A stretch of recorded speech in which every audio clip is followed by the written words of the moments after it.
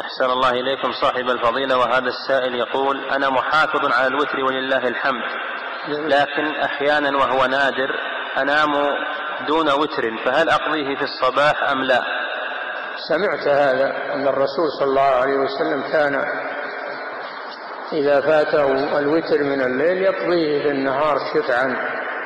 نعم.